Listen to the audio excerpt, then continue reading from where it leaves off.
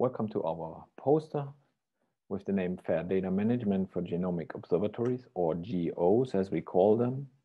Now, GEO is a long-term monitoring site for biological diversity using genomic methods. And there's two things that are common for all GEOs. Uh, they are places subjected to repeated and standardized sampling.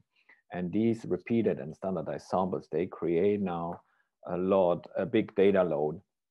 And this can be data uh, such as image data, uh, visual observations or measurements. And uh, mostly the biggest piece, of course, is the sequence data.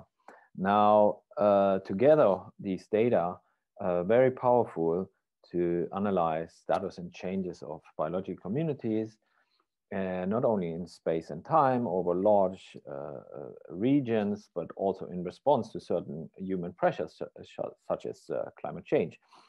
Um, now there are two of these uh, GEOs in place right now, the OSD, Ocean Sampling Day. You see it here, closer described in this part of the poster.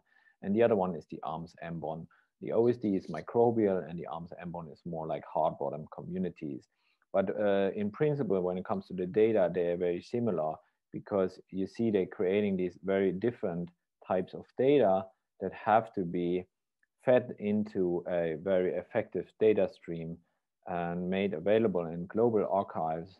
And uh, this is what the, our attention is right now on these processes. So for once, we want to create very good formats and standards, uh, especially in terms of forms, uh, submission forms for scientists, so they can very effectively uh, uh, submit all the data that is uh, then further propagated in the system and ending up in the respective repository where it can be explored.